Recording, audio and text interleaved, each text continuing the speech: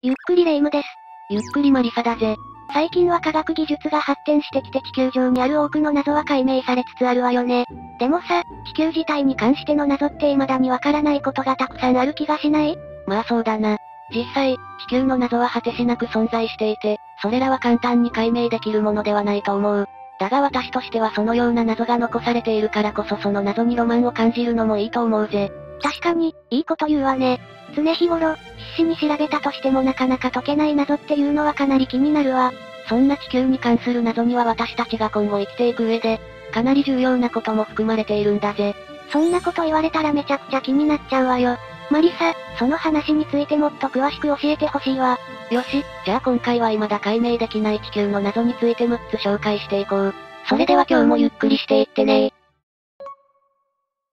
ではまず紹介するのは地球上の生命の起源についてだぜ。しょっぱなからすごいの持ってきたわね。今、地球上には当たり前のように多種多様な生命体が生息しているが、その起源は未だに未解明のままで研究者の頭を悩ませているんだ。確かに考えたこともなかったけど、私たち人類も含めて生命体ってどこからやってきたのかしらね地球史の中でも一番の謎と言ってもいいかもしれないわ。そもそも生命の定義って何なんだろう？生命の定義は一般的に自分と外界を隔てる膜を持ち、エネルギー代謝をすること、自分の分身や子孫を残すことができる存在と定められているぜ。ちなみにこの最低条件を満たした存在が初めて登場したのは約40億年以上前で、冥王代と呼ばれている時代とされているな。よ、40億年前？どうしてそんな大昔のことがわかるの？それは約40億年前の古い地層から生命の痕跡が見つかっているからだ。そこにはなんと生物に由来する炭素が岩石の中に残っていたんだぜ。ほえすごい発見。ちなみにそれより古い時代にはまだ生物はいなかったってこと？それについてはいないというより、そもそも40億年前よりも古い時代の岩石は残っていないので確かめようがないって感じだ。地球が誕生したのが約46億年前だと考えられていて、誕生から5から6億年、つまり40億年前までの時代が冥王代と呼ばれているんだ。その頃の岩石は地球内部に沈んでしまったりしていて地上にはほぼ残っていない。特に冥王代最初期の地球は焦点体が何度も地球にぶつかって、表面がドロドロに溶けた熱いマグマに覆われた状態で、これはマグマオーシャンと呼ばれるぜ。マグマオーシャンは聞いたことあるかも。さらに焦点体が衝突しない期間が長く続くとマグマオーシャンが冷えて固まり、さらに大気上昇の温度が400度を下回ったところで最初の雨が降る。しかしこの雨は地表に降り注ぐ前に蒸発してしまうんだ。なるほど。さらに大気の温度が下がって地表の温度が400度を下回ったところで、初めて地表に雨が降ったと言われている。まあでもその雨も蒸発したり地面に染み込んだりしてきっとすぐに消えてしまったでしょうね。そしたらだんだんと地球の温度が下がることになるその通り。すると雨が水たまりになりやがて海ができる。最初の海は少なくとも地球が生まれてから2億年後の44億年前には誕生したと言われているぜ。最初の海ってなんだかすごく神秘的な話ね。まあこの最初の海も再び焦点体が衝突するなどして蒸発してしまったかもしれないけどな。大気が冷えて海ができては焦点体の衝突によって干上がるということが、何度か繰り返されたと言われているんだ。そしてしばらくして焦点体の衝突が収まり、ようやく海が安定して存在できるようになったんだぜ。うんうん。やっと地球の環境が落ち着いたって感じかしらね。そう、そこで生命が誕生したと考えられているんだ。随分と過酷な環境の中で生命は誕生したんだなって思ったわ。ちなみに生命が誕生する条件とかってわかっているのかしら？まずは水の存在が不可欠だな。そしてそれに伴い液体が存在できるような、暑すぎず寒すぎない気温が必要になり、また極端な酸性やアルカリ性、高圧力でも生命活動に支障をきたすわけだ。だからめちゃくちゃ限定的で恵まれた環境がなければ成立しないんだぜ。そんな中、生命が誕生したなんて奇跡に近いわね。それで最初のそもそも何から生命が生まれたのかな？それについては結論、未だに謎のままだ。もちろんゼロからいきなり命が生まれるはずはなく、生命を構成する物質が何らかの原因や作用で生命へと進化した可能性が高いとされている。まあそうでしょうね。でもそのあたりのメカニズムは一切解明されていない感じ？何かこれについては仮説とか立てられているのかな？一応、仮説は大きく分けて二つ存在している。まず一つ目は地球起源説つまり地球の物質から生命が生まれたとするもので、太古の地球に二酸化炭素や一酸化炭素窒素、水などが混ざり合って生命のスープが存在している感じだぜ。そこに紫外線などの宇宙線が浴びせられ何らかの作用で偶然生物が誕生したのではと主張されているな。なかなか複雑な感じね。じゃあ二つ目の説は？二つ目は地球外起源説だぜ。これは地球外からやってきた物質、例えば衝突した小惑星などに付着していた物質が、太古の地球で何らかの作用をして生命になったとする説だ。え？えそんなことあり得るの？信じられないと思うが実際、隕石からアミノ酸などの生命の基本成分が発見された事例もあるし、こちらもありえない話ではないと思うんだよな。そ、そうなんだ。どっちもぶっ飛んでる説にも思うし、ありえそうにも思えるわね。まあ残念ながらこの二つの説も断定できるだけの証拠はなく、あくまで仮説止まりでもはやどこから手をつければ解明に近づけるのかすらわからないって感じだ。生命の起源の謎は深いんだよな。うーん。でもさ、さっき40億年前の古い地層から生物に由来する炭素が岩石の中に残ってるって言ってたじゃない？それを調べればどんな生物だったのかわかるんじゃないの？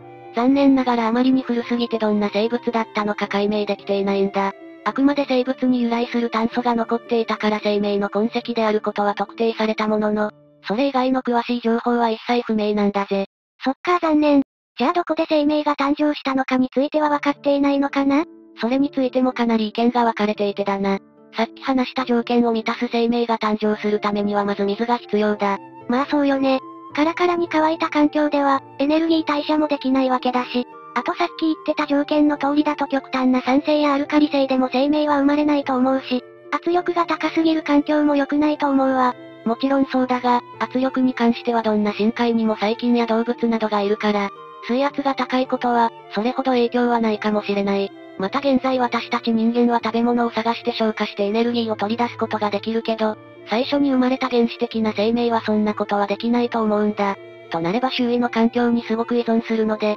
周りに餌が豊富にあるところでないと生命は誕生しないはずなんだよな。あ、なるほどね。じゃあその最初の原始的な生命の餌っていうのは何なのかしら？人間にとっては炭水化物などがエネルギー源になるが、原始的な生命にとってのエネルギー源とは還元的な物質と酸化的な物質のことを指す。具体的には水素や二酸化炭素などだぜ。これらの物質があると酸化還元反応が起こって、直接的にエネルギーを取ることができるんだ。水素や二酸化炭素が餌っていうのも何か不思議な感覚だわ。それで結局、生命誕生の場所はどこだと言われているわけ？様々な説があるが、特に有力な説は陸上温泉説と海底熱水説だが、どちらの説にも強みと弱みがあって、決め手にかける状態なんだぜ。それぞれ例えばどんな弱みがあるのかな？例えば陸上温泉説なら環境の不安定さが一番の弱点だと言えるだろう。40億年以上前の地球にはそもそも大きな陸地がほとんどなかった可能性が高いと言われていてだな。もし陸地ができてもプレートテクトニクスによってまた沈み込んでしまったり、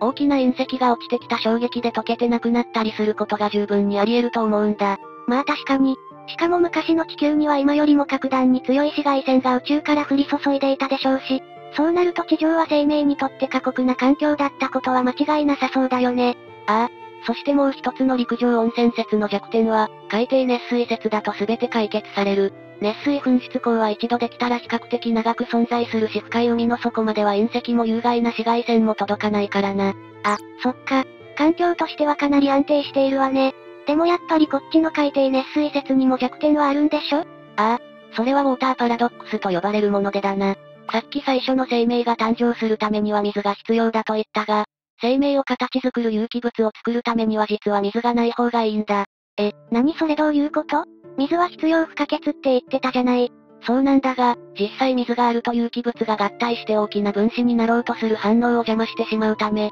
生命の材料が作られにくいんだ。一方で熱水噴出口は海底にあるのでもちろん周囲は水だらけだ。もちろんちょうどいい水温でエネルギー源も豊富、さらに環境も安定しているが、生命の材料を作る反応を大量の水が邪魔をするんだよな。そういうことか。この矛盾点がウォーターパラドックスで、海底熱水説の大きな弱点ってことなのね。このように現在は海底熱水説を支持する人が多い一方でなかなか決着がつかない状況が続いている。そもそも生命の起源には数えきれないほどの謎が秘められているわけで、果たしていつ、どこで、どんなメカニズムで最初の生命が生まれたのか、今の地球に残された痕跡だけで解明できる謎なのかすらわかっていないんだ。うーん、いつかこの謎が解明されるといいわね。次に紹介するのは大不整合についてだぜ。大不整合っていうのは？これはアメリカのグランドキャニオンに見られる現象なんだが、この場所は地質学の巨大な図書館と言われている。その岩石には何十億年という地球の歴史が刻み込まれているものの不思議なことに、どこを見てもある時期の地層がごっそりと失われているんだ。ある時期の地層がごっそりそれはどのくらいの時代分抜け落ちているの失われたのは最大で12億年分というから相当な量だぜ。この大きな空白こそが大不整合と呼ばれていて、グランドキャニオン以外にも世界中に存在しているんだ。ほえー、それにしても地層のグラデーションがめちゃくちゃ綺麗だね。この大不整合に分断された地層の一方は約5億4000万年前に始まったカンブリア紀の堆積岩で、複雑な多細胞生物の化石が残されているという。しかしその真下には約10億年かそれ以上前に形成された化石のない結晶質の基盤岩があったりするんだよな。なんとも不思議なことが起きているわね。その失われた地層は一体どこへ行ってしまったのかしら？それについて真相は謎のままだが、いくつかの説が出ていてだな。まず地球科学者たちの国際研究チームが複数の証拠に基づいて、これはスノーボールアースすなわち全地球凍結だったかもしれないとする論文を発表しているぜ。スノーボールアースっていうのは？これは地球の全てとはいかなくとも、ほとんどが氷に覆われたという説だな。研究チームによるとスノーボールアースの氷河による侵食能力のせいで10億年くらいの間にわたり、大陸の近くの最大3分の1以上が何度か削り取られたというんだ。さらに削られた土砂は氷の下の海に流れ出し、プレートの沈み込みによってマントルに吸い込まれたぜ。実質的に多くの場所において、合計約5分の1に及ぶ地層がこのようにして失われたというな。なんともぶっ飛んだ説に思えるけど、この説ってやっぱり世界でも有力視されているものなの？まあ正直賛否はかなり分かれるものだと思うし、他の地球科学者の間から疑いの声が出ているのも事実だ。だがスノーボールとしての状態やその引き金、寒冷化のメカニズムは今も議論が続いているものの、約7億年前の地球が極寒の巨大な雪玉だったという考えは科学界で支持を広げているんだ。そ、そうなんだね。だったら現在の南極大陸で見られるのと同様に氷河は激しい侵食をもたらしていてもおかしくないと思うわ。その通り。一方で大不整合に見られる特徴は、侵食によるものとこれまでも言われてきていて、しかしそれほど大量の地殻が徹底的に消し去られているという考えに対して絵を唱える地質学者もいるぜ。まあそうよね。何かこれについて有力な痕跡とか見つかっていないのかしら？そんな中、このスノーボールアースの影響説を唱えた学者の一人であるケラー氏は、太古のジルコンの中に新しい手がかりを発見したんだ。ジルコンっていうのは？ジルコンは風化しにくい鉱物で結晶化するときに周囲の地球科学的条件を中に閉じ込めるものだ。故に科学者たちは数十億年前の地球の様子を知ることができ、いわば太古の地球のタイムカプセルとも言えるんだぜ。なるほど。特にジルコンには様々な放射性同位体が含まれていて、ウラン同位体からは結晶ができた年代がとても正確に測定できる。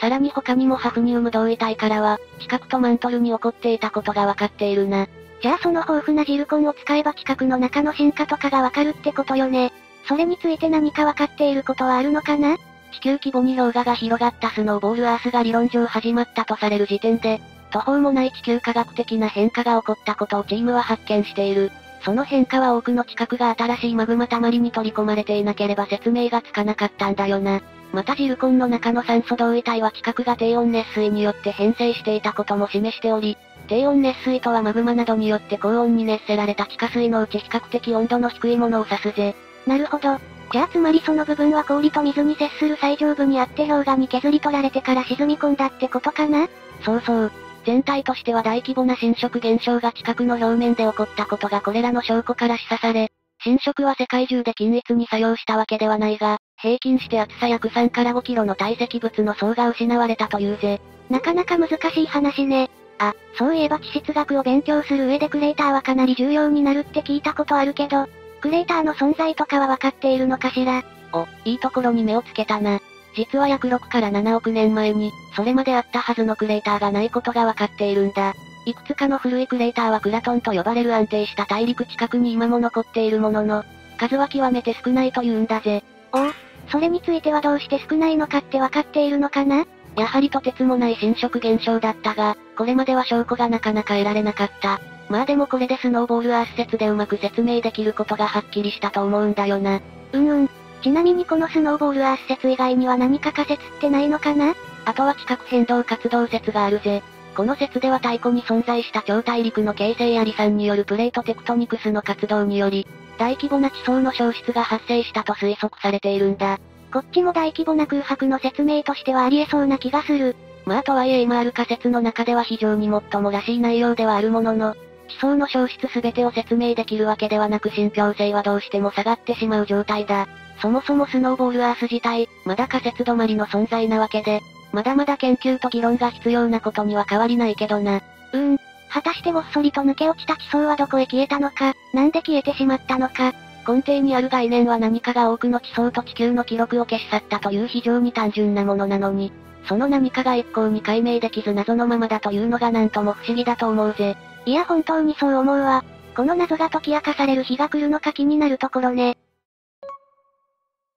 次に紹介するのは E プライム層についてだぜ。E プライム層って初めて聞いたんだけど、これは一体どんなものなのかな ?E プライム層とは簡単に言えば地球の外角部分にあたる領域のことだ。そもそも地球は様々な物質で構成された球状の層が積み重なってできている惑星で、図を見てもらうとわかりやすいが地表から近く、マントル、コア、核の順に重なって構成されているんだ。これは学校の理科の授業とかでも習うから知ってる人が多い気がするよ。最も中心である核には内角と外角があると思うけど、その外角部分にこの E プライム層っていうのが存在しているってことかしら？その通り、もともと、というか今もこの地球の内部ってかなりな高温と高圧のため、直接調査することが難しい領域とされているんだ。未だに解明が進んでいない部分が多くあり、今回紹介する E プライム層もその一つなんだぜ。うんうん。それにしても私は正直、全くと言っていいほど聞き馴染みがないんだけど、これって本当に実在しているのかしら？もちろんだぜ。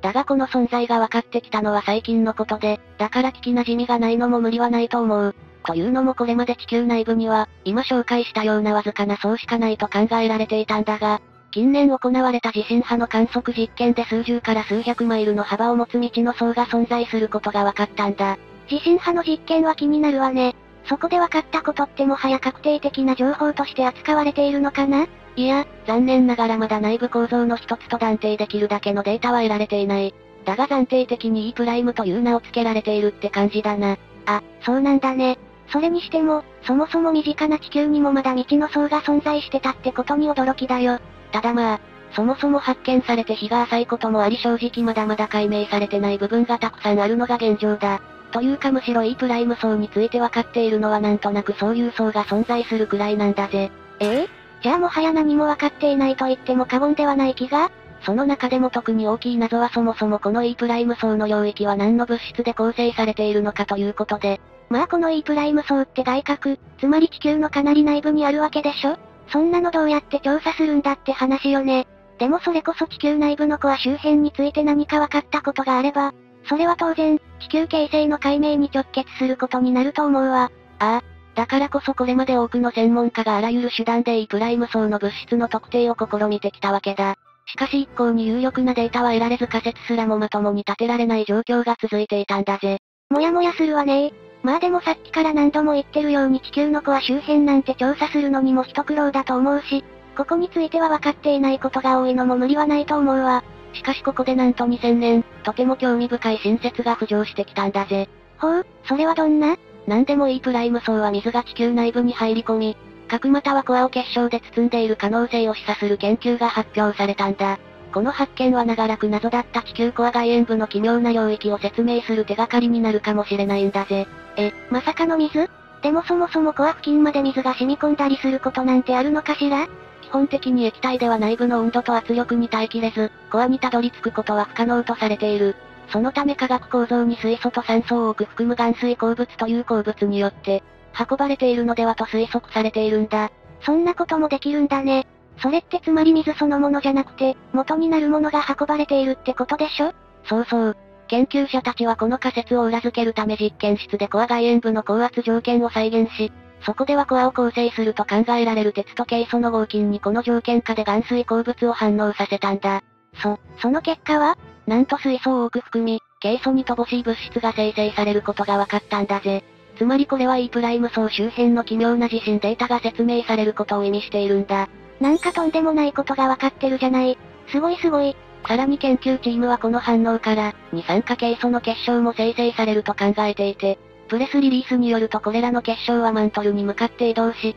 コアを包む高密度なシリカの層を形成するというんだぜ。おお、核を包む結晶の層ってなんだかすごくロマンを感じる話ね。コアにマントルからの物質が入ってくることは少ないと考える多くの研究者にとっては、にわかに信じがたい話だと思うけどなかなかすごい発見だと思うわ。とはいえ、この仮説が支持されるにはまだ証拠が乏しくあくまで仮説状態から抜け出せてはいない。しかしこの仮説が事実であると証明されれば水が地球内部をどのように移動するかについて、従来の認識が覆される可能性もあると思うんだよな。うんうん。地表の水循環と深部の金属コアを結びつける地球科学サイクルにとっても、相当重要な意味を持つことになると思うわ。今後も様々な研究によって E プライム層についてある程度うまく説明できるようになってほしいわね。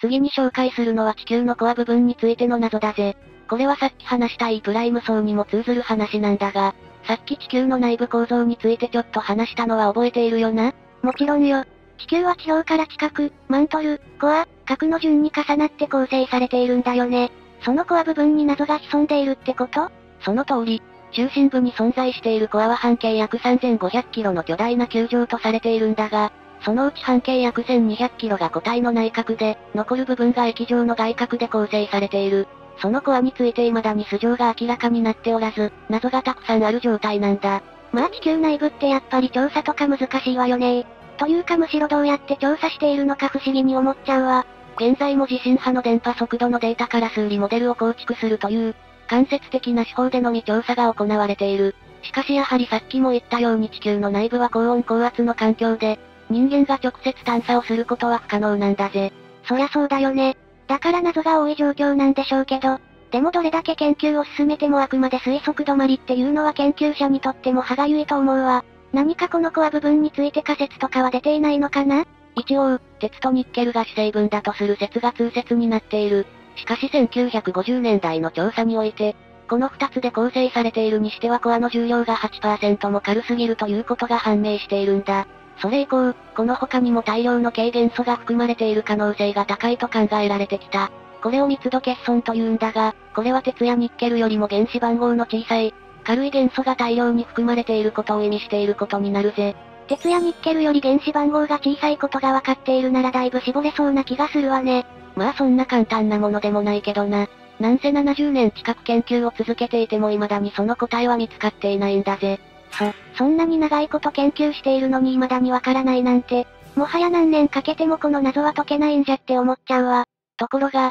最近になってなんとも有力な調査結果が出ていてだな。東京大学などの研究グループが行った実験の結果、ようやく有力な軽元素の正体が判明したんだぜ。おお、それは気になるわね。それでその正体っていうのは何だったのかしら？それは水素だ。これまでは技術的に不可能だった地球内部の高温高圧の再現を行い、候補とされていたいくつかの軽元素を総当たり式に実験した結果得られた答えなんだぜ。す、すごい。それにしても水素だなんて私たち人類にとってもかなり身近な存在だから知ってる人も多いと思うけど、いくら地球が水の星とか言われていてもそんな高温高圧な部分のコアを形成しているのが、水素っていうのはあんまりピンとこない気が？まあまあとりあえず聞いてくれ。さらにその後実験結果を元にしたとある計算が行われ、その結果おそらく原子の地球には今の海水の50倍もの水があったと考えられている。しかしこの研究も一筋縄ではいかず、この実験を可能にするには二つの大きな困難があったんだぜ。まあそんな簡単なものではないわよね。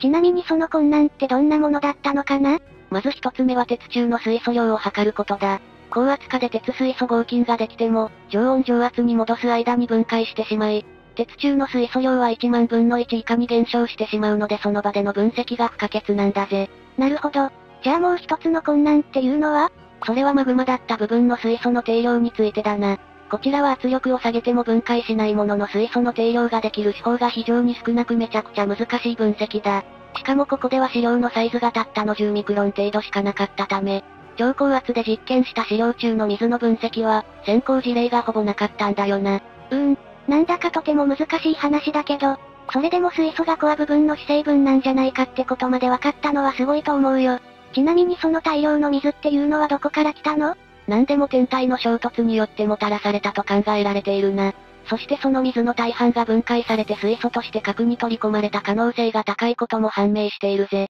これは今ある陸と海のバランスを成立させるのに重要な過程だったとして解明が急がれているな。ほえー、そんなこともわかるなんて、やっぱり地球に水はつきものなんだね。まあただこちらもあくまで仮説であり、それ以上の真相は未だに謎のままだ。人類の技術が発展し直接コアを調査できるような代物が出てくれば、もっと有力な組成や構造についても謎が解明できるかもしれないな。で、でも軽元素のメインは水素ってことがわかっているんでしょ。となれば解明も意外と早くできるかもしれないわよね。まああくまで水素も推測の域は出ていないし、そもそもコア部分には他の要素も含まれていると思う。他にどんな成分が含まれているのか、何がどのくらいの割合で構成されているのかなど、分かっていないことはたくさんあるぜ。うーん、もちろん今までに比べれば解明に近づいてはいるんでしょうけど、まだまだ謎の方が多いことに変わりないってことなのね。この先また何か有力な情報が明らかになるといいな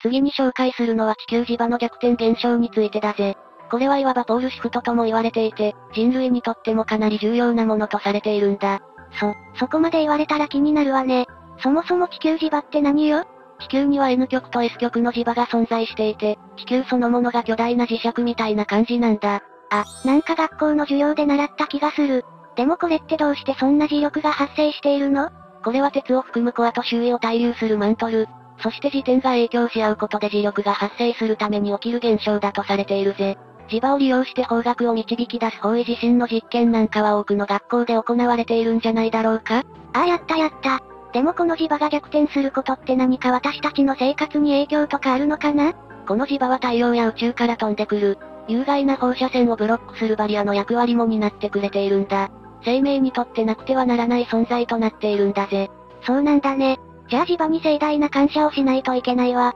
で、その磁場が逆転するってどういうことなの？なんでもこの地球の磁場、実はこれまでの歴史の中で、不定期的に S 極と N 極が反転していたことが判明してるんだよな。これは1906年にベルナルド・ブルネという人が、現在の地磁気の方向とは逆に対峙した岩石を初めて発見したことから始まっているぜ。何それ不思議な現象ね。そこからこの逆転現象の調査が始まった感じ？そうそう。現在の磁場の向きとは逆向きに磁化された岩石が発見されたことをきっかけに研究が進み、年代測定の技術の進歩に伴い楽天現象が発生していたことが断定されたんだ。なんとも不思議な話ね。これはどうして磁場が逆転するの？それがさっぱりわからないんだよな。そもそも地球の磁場が発生するメカニズムもまだまだ不明な点が多く、この逆転という奇妙な現象の原因を特定することは到底不可能とされているんだ。逆転現象の前に磁場の発生メカニズムすら謎なんて、そりゃあ解明するまでに相当な時間がかかりそうだわ。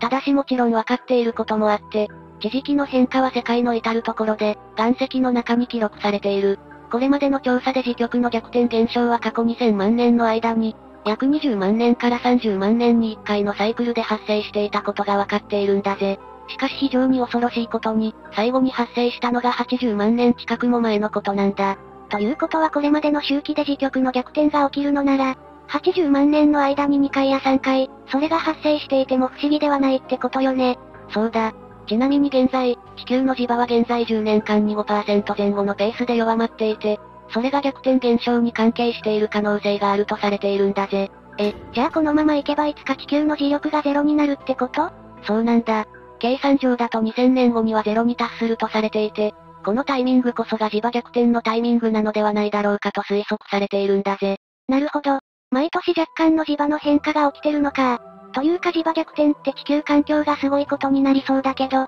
それって大丈夫なのかしら？今のところ生命に対する壊滅的な影響はないと考えられているが、ある研究者は磁極の逆転が起こった場合、人類を壊滅的な事態が襲うとも言っている。ええー、何それ全然大丈夫じゃないじゃない。でもどうして磁極の逆転が起きると大変なことが起きるとされているわけ？まず世界中のナビゲーションシステムは破壊され、太陽から有害な放射線が降り注ぐ。そうなれば地球上のあらゆる生命が危険にさらされることになるわけだ。さらにさらに氷河期の到来などの気象変動も危惧されていて、またバリアの弱体化により大気圏への宇宙船の入射量が増えることで大気が電離して氷結核が増え、雲の発生が増える可能性も高いんだよな。なんかとてつもなく恐ろしいことが起きている気がするわ。もしそうなったら何が起きるのかしら？そうなれば日射量が減るため地球全体の寒冷化が進むと考えられているんだ。そんな、寒冷化って生命にとって大ピンチじゃない。とはいえこれもあくまで仮説の域を出ない話で、実際どうなるのかは分かっていない。それの答えが出るのは次の逆転現象が発生した時ってことだな。うわぁ、逆転現象が起きるのはめちゃくちゃ怖いけど、どうなるのか気になる気持ちもある。まだこの謎が解決されるまでは相当な時間がかかりそうね。最後は地球誕生の謎について話をしていこう。すべての生命の母であり欠かすことのできない存在である地球だが、実はその誕生には数々の謎が残されているんだ。確かに地球って当たり前のように存在しているけど、どうやって誕生したのかわからないわね。そうだよな。そんな中でも特に疑問視されているのが、地球が一体いつ頃形成されたのだろうかという点なんだ。あれ、地球って確か46億年前に誕生したって言ってなかったっけ？それはまた違うの？それは地球上に存在する岩や鉱物に含まれる放射性元素から、45から46億年前に形成されたものとする説が通説となっていることを言ってるんだな。確かに通説では地球が生まれるきっかけは、およそ50億年前に遡り、宇宙のどこかで星の大爆発が起こったとされている。この爆風で薄いガスや塵が大きな渦を作り始め、その渦の中心には物質が集まってどんどん高温になり、やがて核融合反応が起きたんだ。うんうん。それで生まれたのが太陽だよね。で、そのぐるぐる回っている渦の中では、ガスが冷えて細かな粒子ができて、その粒子が集まってやがて微惑星と呼ばれる大きな塊になったんだよね。そうそう。微惑星はお互いに引力で引き付け合って、どんどん大きくなり、これが地球をはじめ惑星の原型になったとされている。しかしこの45から46億年前っていうのも少し引っかかる部分があって、見ての通り1億年前後の触れ幅があり、年代を特定できているとは到底言い難いと思うんだよな。まあ確かに、普通にスルーしてたけどよく考えたら1億年の誤差って相当だよね。そもそも年代特定の参考とされた最古の鉱物や岩石が本当に地球上で一番古いものなのかも謎だし、現在の通説を真実として断言するにはまだ色々不安要素が残ると思うんだ。あくまで有力な説止まりと考えた方が妥当だと思うぜ。なるほどねそんな地球の誕生について何か仮説が立てられていたりはするのかしら？実は意外とあって、なんと近年では通説を覆すような新説も次々と登場しているんだぜ。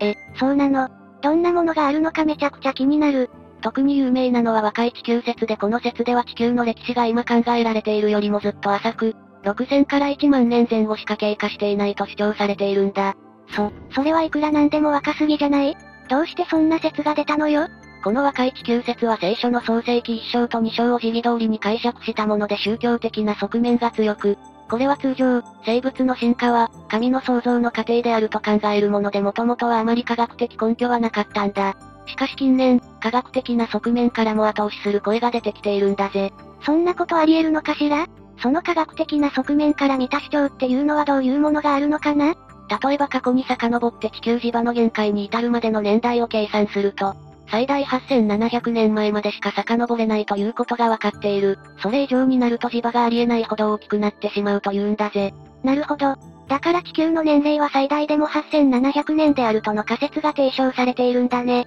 それにしても生命の誕生や地層の話との整合性が取れない気がするけど。その通り。だからにわかに信じがたい内容ではあるのも間違いないけどな。一方で反対に我々の想像よりもはるかに古い年代に誕生したのではないだろうかとする説もあるんだ。え、46億年より前に誕生しているってこと？そうそう。というのも現在生物は非常に長い年月をかけて少しずつ変化したとする。ダーウィンの進化論が信じられているだろ？だが一部の研究者はこの考えをもとに計算すると現在の生物にたどり着くまでには、およそ3兆年の年月が必要になると主張しているんだ。さ、3兆年？そんな大昔から地球が存在していたかもしれないの？まあこれも少し極端だが、少なくとも46億年程度では到底進化しきれないということだろう。さらに未だに地質年代の調査精度があまり高くないこともあり、地球の誕生年代が通説でほぼ間違いないと断言はできないんだよな。それはまあ確かにそう思うわ。それにしても謎が多すぎて仮説の幅も偉いことになってるわね。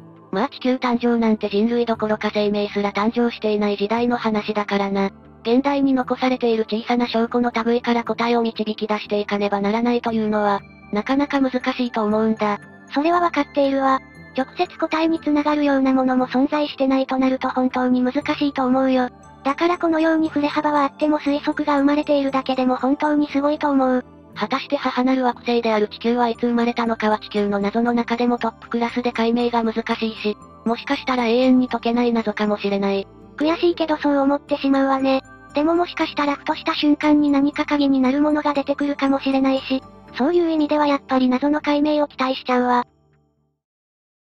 ということで今回は未だ解明できない地球の謎について6つ紹介したぜ。話を聞いてみてどう思った？私たちが普段生活している地球ってかなり身近な存在だと思っていたけど、正直ここまで多くの謎が潜んでいるとは思っていなかったわ。これだけ身近な存在なのに何十年と時間をかけてもわからないことがあるなんて、やっぱり地球にはロマンがまだまだたくさんあるんだなって思ったよ。地球がいかに大いなる存在であるかが再確認できる内容だっただろとはいえ我々もまだ勉強は足りないし、まだまだ解明の余地はあると思っている。今は研究者たちが奮闘して謎の解明に勤しんでいると思うから、いつかこれらの謎が解明されることを期待して待っていよう。今回の解説はこれにて終了だぜ。ご視聴ありがとうございました。